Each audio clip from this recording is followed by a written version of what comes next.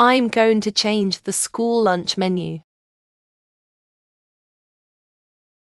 Ha ha ha ha ha ha ha ha ha ha ha ha ha.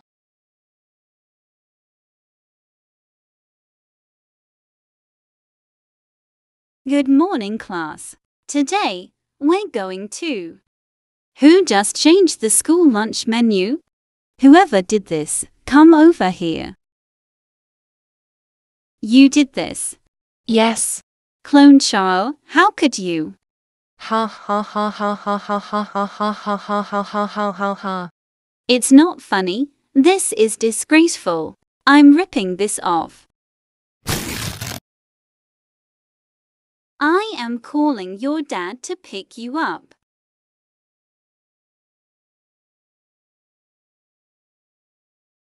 Let's go home, ClownXiao. You are going to be grounded for messing up the school lunch menu. ClownXiao. I am super furious at you for messing up the school lunch menu. You are so grounded, grounded, grounded, grounded, grounded, grounded, grounded, grounded, until Xiaolong says her first word. Go straight to your room and go to sleep. Wah wah wah wah wah wah wah wah wah wah wah wah wah wah wah wah.